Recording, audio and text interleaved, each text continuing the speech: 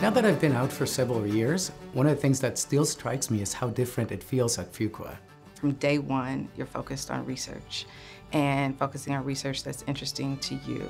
So you don't come in to help advance the research of the professors that are here. They're not interested in that. What they want to do is see you bring out your own interests. The faculty are just very invested in providing students with really thoughtful and frequent feedback on their research. It really is more of an apprenticeship type program when you're getting your PhD, and so I think that relationship with the faculty is critical.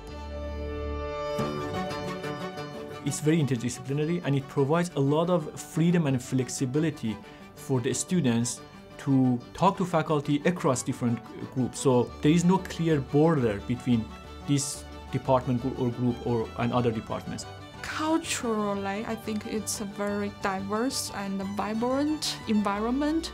Uh, you can meet people from all over the world. Durham is quirky, it's different, it's diverse. What I liked about the area is it's kind of like the best of a big town and a small town together. I love the restaurants in Durham. I love the weather.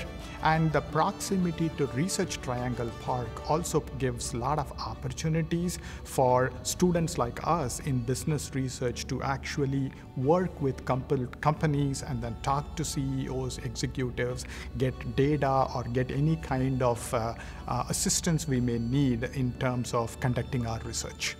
If I look at what I learned through this process. It was tremendous amount of uh, academic rigor and it's a tremendous amount of how broad the knowledge should be.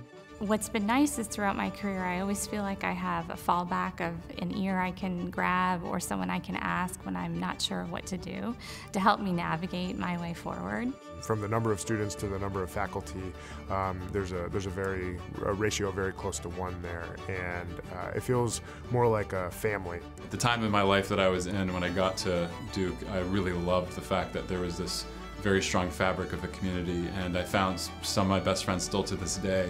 It's a very well-connected culture.